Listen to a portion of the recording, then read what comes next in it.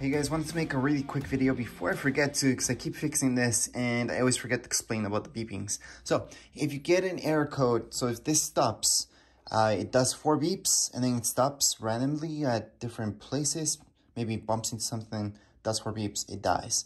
Um, you're just gonna see a red light blinking the whole time. Well, most likely that's gonna be a battery issue. So, I did make a video about how to change the battery, but basically you just open this up, put in a new one, now, I did buy at first the real one. So from the company itself, I had one shipped in and that lasted about six, seven months. That's about it. The first one that came with this when it was brand new, same thing. Actually only lasted that same amount of time. Now this time I'm trying a generic one. So that means a uh, different branded one in here. We're gonna see how long that lasts. Anyways, right now it's been working fine since I started getting those four beeps. So I knew I had to change the battery. Now before that, I had another problem. Um, I got three beeps and then six beeps. So that was kind of random. I wasn't really sure what was going on. So I did email the company and everything, and they didn't really give me an answer. But uh, they told me that if I give them like $160, they would fix it for me. And then what I was looking at is at the tires themselves, and they are very dirty. Okay, um, the tires themselves, they were worn out. So for sure, I thought that must be the problem. So what I did was just buy these other ones. These are rubber ones that you place on. I did make a video about that as well. So check that out. It's very, very easy to take off the plastic thing that they have on this thing. It's obviously meant to be worn out, but I did buy this other one that's $30, so it's more expensive than just getting a replacement for it. Uh, so a little bit more expensive.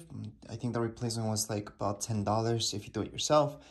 And I got these $30 ones because this will last forever. It's rubber. That's how they were supposed to make this in the first place. Anyways, right now it's fully working. So if you guys are getting three beeps or six beeps or both of them, because I was getting both of them randomly, and this would just stop as well, then yeah, it's definitely the wheels. Take a look at the wheels. Take a look if um, they're worn out. The company told me to take a look at this here. So when I was getting the six beeps and three beeps uh, randomly, they told me to look at this area.